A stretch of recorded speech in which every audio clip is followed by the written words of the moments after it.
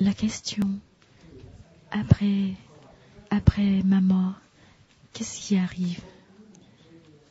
Qu'est-ce qui se passe? C'est une question que hum, tout le monde pose dans tous les pays, dans toutes les cultures. Tout le monde veut savoir, après la mort, qu'est-ce qui reste?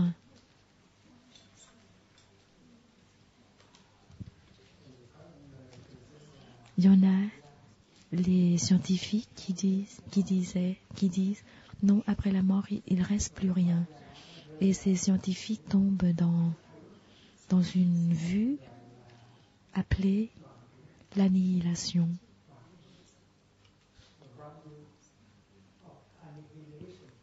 C'est la vue fausse de l'annihilation. C'est-à-dire, après la mort, il ne reste plus rien. Et si nous croyons le contraire, après la mort, même si ce corps se décompose, nous sommes exactement nous-mêmes. Nous avons une âme éternelle. Alors, on tombe dans une, en- dans une autre vue, dans une autre vue fausse appelée l'éternalisme.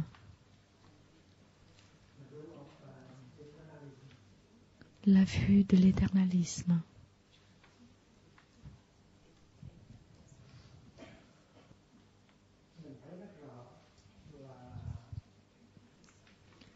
Nous voyons très clairement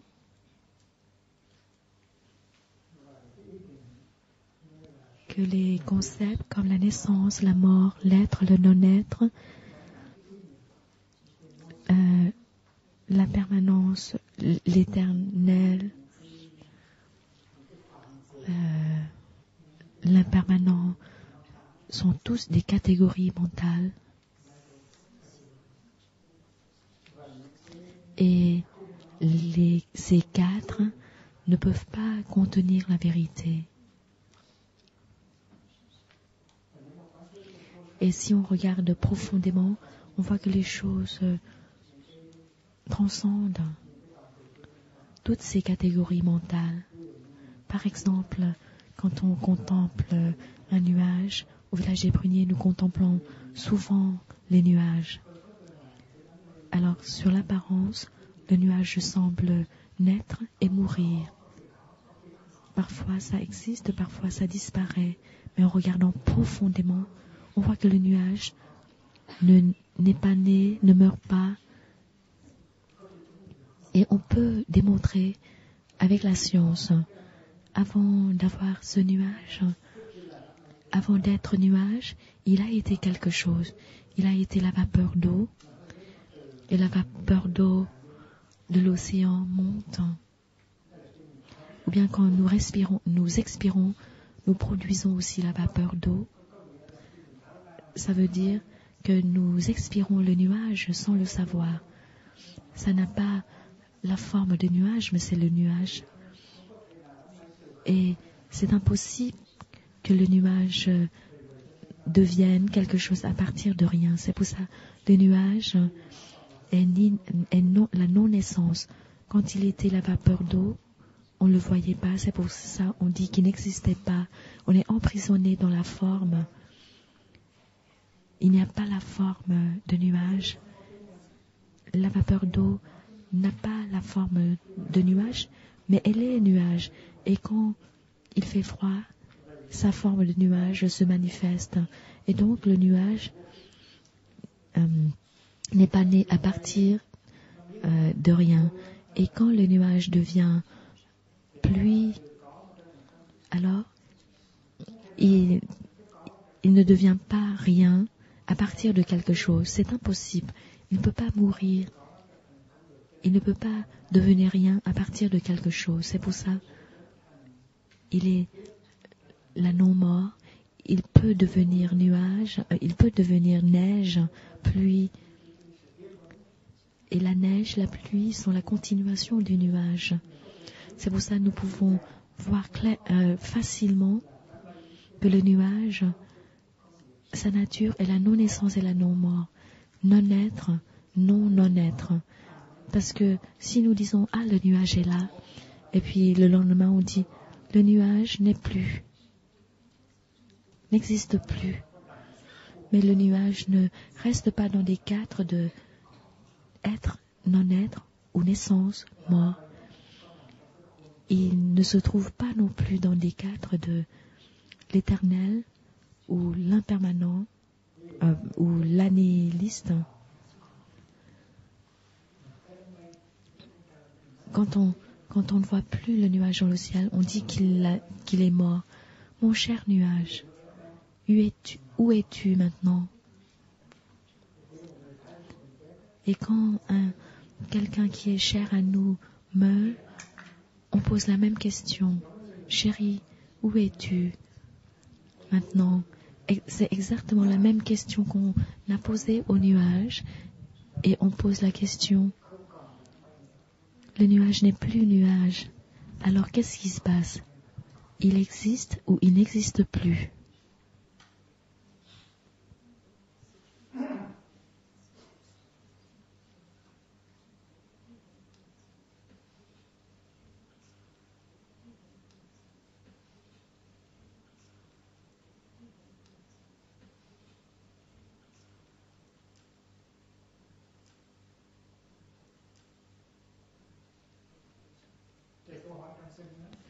Alors la question dans le sutra, c'est après que le Bouddha entre en nirvana, il continue à exister ou il cesse d'exister?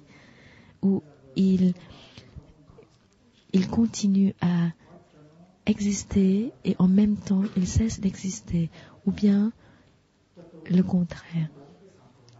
Et il faut répondre à une de ces questions, une de ces quatre catégories.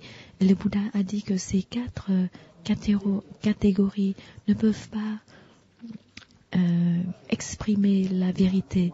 La vérité se trouve à l'extérieur de ces catégories mentales. C'est pour ça dans le bouddhisme, il y a la voie du milieu, ce qui signifie euh, on, on sort de ces extrêmes. D'un côté, c'est euh, la naissance, de l'autre côté, c'est la mort. Un côté, c'est l'être, et l'autre côté, c'est le non-être. Un côté, c'est le pareil, et l'autre côté, c'est le différent. Et tout, tout ça, on peut contempler l'impermanence pour, euh, pour comprendre. L'autre jour, nous avons dit que ici c'est le temps et ce point.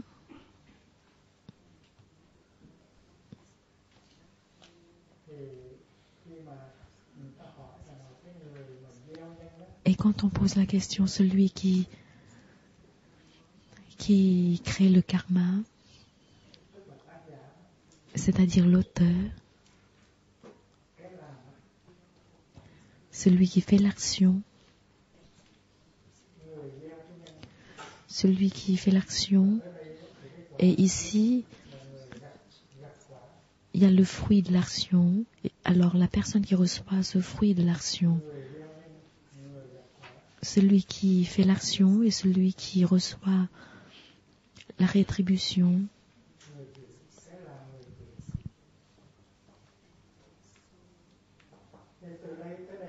Alors d'ici jusque-là, c'est une période de temps, quelques heures ou quelques années. Alors, celui qui fait l'action et celui qui reçoit la rétribution sont une personne ou deux personnes. Parce que si nous regardons à la lumière de l'impermanence, nous voyons que tout, tout ce qu'on voit traverse la naissance, les naissances et les morts à chaque instant. Cette rivière de cet instant n'est plus la rivière euh, du passé et moi maintenant n'est plus le moi euh, de l'autre fois. Le, le moi d'aujourd'hui n'est plus le moi qui avait cinq ans. Quand on regarde notre album de photos, nous voyons notre photo à l'âge de 5 ans, alors je suis la même personne que cet enfant ou je, suis une autre personne. Et c'est pareil, celui qui fait l'action et celui qui reçoit la rétribution, c'est faux de dire que c'est la même personne parce que le temps est passé et ça a changé. Je ne suis pas pareil.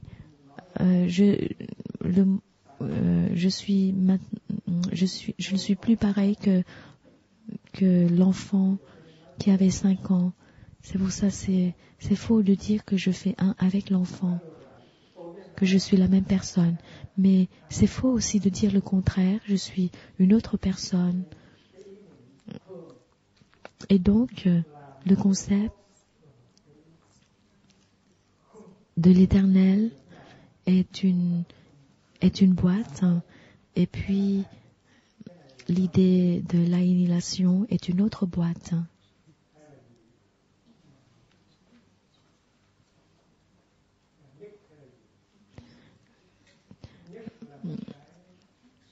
Le pareil ou le différent. Le pareil se trouve dans une boîte et le différent est, est dans une autre boîte. Alors ces deux personnes sont la même personne ou sont deux personnes. Alors, ce sont les deux extrêmes. Et la voie du milieu signifie quitter ces deux extrêmes. C'est pour ça, quand on vous pose la question, après la mort, vous continuez à exister ou vous cessez d'exister, alors il faut répondre selon la voie du milieu. C'est faux de dire je continue à exister. Et c'est faux aussi de dire que je cesse d'exister, n'est-ce pas? En principe, c'est ça. C'est pareil quand on dit on est la même personne avec la, avec l'enfant ou non. C'est faux de dire euh, oui et c'est faux aussi de dire non. Le pareil, le différent. La vérité, c'est ni l'un ni l'autre. La vérité, c'est la voie du milieu. Et c'est pareil pour celui qui fait l'action et celui qui reçoit la rétribution. C'est faux de dire que les deux personnes sont une seule personne et c'est faux aussi de dire que les deux sont différents. Et donc les catégories mentales sont la naissance, la mort, l'être, le non-être,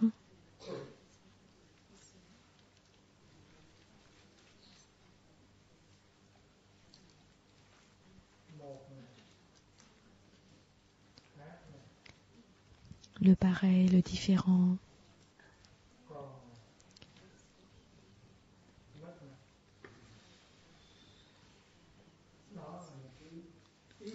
ce sont des concepts, des notions,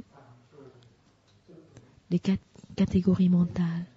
Et nous savons que la vérité transcende tout ça.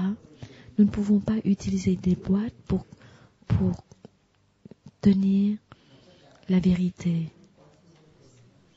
Et tout ça vient de la contemplation de l'impermanence.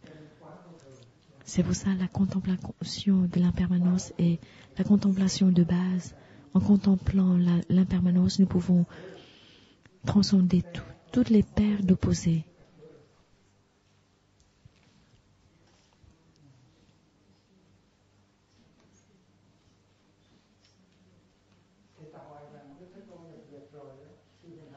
Alors, après que le Bouddha entre en nirvana, il continue à exister ou il cesse d'exister. Alors, si nous sommes ces étudiants intelligents, nous allons répondre, c'est faux de dire qu'il continue à exister, c'est faux aussi de dire qu'il cesse d'exister, parce que les deux sont les vues fausses.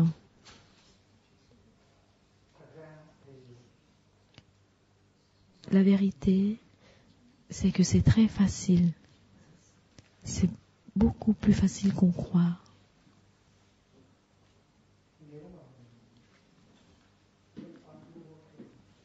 Si nous contemplons l'impermanence, nous voyons clairement que nous sommes très différents de l'enfant à l'âge de 5 ans. Mais dans notre tête, nous croyons toujours que nous sommes la même personne, c'est-à-dire nous sommes pris dans, dans l'idée de l'identité. Nous sommes pris dans, dans l'idée d'un soi permanent et tous les problèmes viennent de ça. Si nous regardons plus attentivement, nous voyons que le Bouddha continue à être et nous pouvons le toucher, mais il ne continue pas à exister euh, sous sa forme ancienne, sous, son ancienne forme. Il, ne continue pas à être comme Siddhartha d'autrefois. Regardons la neige. Nous voyons que la neige est très différente du nuage, mais elle est nuage. On regarde dans la non-forme et on peut trouver facilement le Bouddha. C'est comme Anvi, un musicien, un compositeur euh, vietnamien. Alors il a fait beaucoup de chants vietnamiens pour le village des pruniers. Alors maintenant nous le voyons plus en chair et en os, mais chaque fois que nous chantons Taoke, nous voyons qu'il est toujours là. C'est sa musique.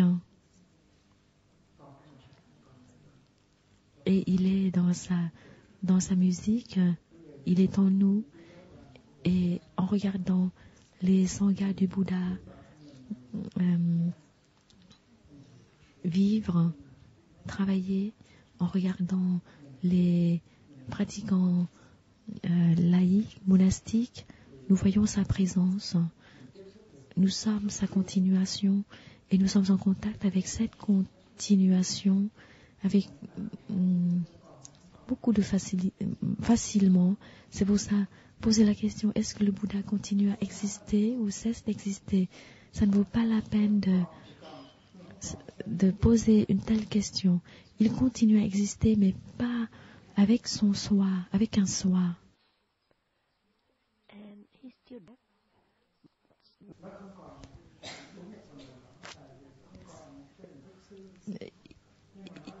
Il n'existe plus, euh, et c'est vrai partiellement, il n'existe plus sous, sa forme euh, l'autrefois. Et ce n'est pas correct de dire qu'il n'existe plus. Et on voit clairement que le Bouddha continue sa, son œuvre. Le bouddhisme, quoi qu'il euh, où qu'il arrive, hein, où qu'il soit, il aide la société à réduire la violence,